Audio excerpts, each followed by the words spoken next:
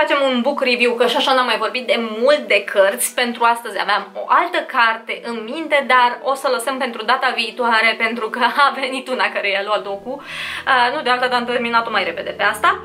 Și se numește Manage Your Emotions. Eu am ascultat audio, în varianta audio, se găsește pe YouTube, vă las în descriere varianta audio dacă o mai găsesc. Uh, da, e în engleză. Uh, nu știu dacă se găsește în română, dați și voi un search, vedeți dacă o găsiți în română. Good luck! S-ar putea să se găsească. Inițial, prima mea impresie era zic, ah, încă o carte de self-help de bune, încă una din asta care vrea să facă bandă pe urma noastră și ne spune nouă cum să gândim și așa mai departe. Dar după aceea mi-am dat seama că, hmm, nu era deloc cartea asta și tocmai de-aia vorbim astăzi despre ea. În primul rând, cui recomand această carte? Păi uh, tuturor uh, vedetuțelor de pe internet care au impresia că universul se învârte în jurul lor, mai ales pentru că sunt vedete pe internet. În al doilea rând, tuturor persoanelor care încă își se chinuie așa să-și găsească anumite uh, Eh, răspunsuri la întrebări. În al treilea rând, dacă nu ați intrat în contact cu lumea asta self-help-ului, cred că este o carte foarte bună cu care să începeți și poate nu vă mai duceți în multe direcții. În al patrulea rând, dacă ați citit foarte multe cărți de self-help și vi se pare că toate spun același lucru și că toate sunt la fel, eu zic să-i dați totuși o șansă pentru că rezumează foarte, foarte multe lucruri care se spun în multe cărți, uh, dar o să discutăm despre asta. Și nu în ultimul rând, eu recomand Lupables, deși, spoiler alert, nu o să o citească niciodată, whatever. Prin urmare și așa, deci, cum ziceam, cartea asta este teoretic o carte de self-help și ce mi-a plăcut la ea este dacă însumează foarte multe lucruri pe care le luăm de aici colo din alte cărți de self-help, dar este mult mai compactă, mult mai concisă. Are, în varianta din engleză are 200 și ceva de pagini, ceea ce înseamnă că e foarte subțire și mă bucură pentru că este concisă. Tratează la obiect niște subiecte din astea uh, normale, banale, care se discută în general în cărțile de self-help și în al doilea rând este clișeică, dar într-un sens bun. Eu v-am spus de multe ori că lumea se ferește de ideea de clișee și de se zbârlește așa când aude de clișee, dar clișeele vin tocmai pe fondul faptului că sunt niște lucruri care au fost repetate și poate chiar puse în practică și care și funcționează. Este clișeică, dar în sensul bun și Asta pentru că vor atinge foarte multe subiecte din astea clișeice, dar ți le explică foarte repede, în termeni foarte simpli uh, și dacă ai deschiderea să asculți lucrurile pe care le spune cartea asta, o să înțelegi treburile astea foarte repede. În primul rând, unul din punctele care mie mi-a plăcut foarte tare și cu care m-a îndepărtat de ideea, oh, iar o carte de self-help, a fost uh, faptul că îți explică puțin mai în detaliu ceea ce este ego-ul.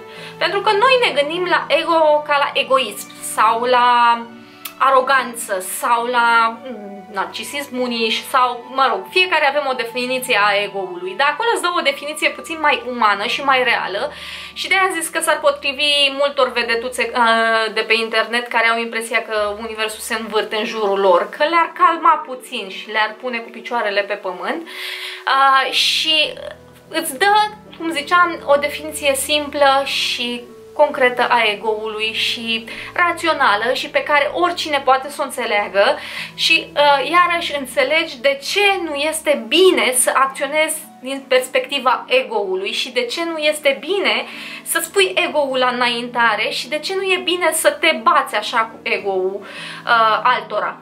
Uh, apoi, Uh, vorbește despre time management foarte frumos și în termeni foarte simpli, fără teorii, fără alambicături, fără nu știu ce strategii, fără să te ducă, să te întoarcă, să te scarpi cu piciorul stâng după urechea dreaptă sau invers, uh, fără chestii din astea. Vorbește despre time management în termeni simpli pe care cred că multă lume i-ar înțelege mult mai bine decât cărți întregi, romane întregi, maculătură întreagă despre time management. Apoi, vorbește despre procrastinare, că time managementul și procrastinarea știți că sunt cam așa. Vorbește despre procrastinare, care iarăși mi se pare un subiect extrem de important și extrem de interesant și extrem de util. Spuneți-mi dacă vreți să-l atingem, pentru că mie mi-ar plăcea să discutăm puțin mai mult despre procrastinare, fiindcă este foarte amplu subiectul în sine și nu a fost tratat la adevăratul lui potențial așa cum ar trebui. Uh, multă lume vede procrastinarea ca pelene, dar procrastinarea asta vine din foarte multe aspecte. Poate veni din multe părți, poate veni din traumă, poate veni din frică, poate veni dintr-o lipsă de interes, dintr-o lipsă de pasiune, dintr-o lipsă de... Uh, viziune, poate veni din foarte multe părți procrastinarea și nu înseamnă neapărat lene. Faptul că procrastinez să fac un anumit lucru, ca de exemplu curățenie în momentul de față, uh, poate să vină și doar și din faptul că te apasă ceva, nu doar pentru că ești leneș. Uh, iar ideea de lene uh, e foarte larg răspândită la noi și nu e cea mai sănătoasă din perspectiva mea. Și cum ziceam, mi-a plăcut la cartea asta limbajul și faptul că vorbește în termeni simpli, îți spune teoriile astea și lucrurile astea în termeni simpli, poate să le înțeleagă oricine, de la un puș de 16 ani care e zăpăcit și vede lumea în felul lui, până la un om mai în vârstă care e trecut prin viață și are niște idei fixe băgate acolo. Și nu te bagă în tot felul de teorii filozofice și așa mai departe, dar uh, lucrurile astea sunt susținute de niște studii și de niște uh, elemente ceva mai profunde pe care poți să te duci să le cercetezi dacă vrei, nu trebuie neapărat să crezi cartea pe cuvânt și nici nu vă recomand ca idee generală, să, vă recom- să, re- să credeți o carte sau pe un om, să credeți pe cuvânt doar pentru că a zis un lucru. Nu, mergeți și cercetați și săpați un pic mai în adâncime.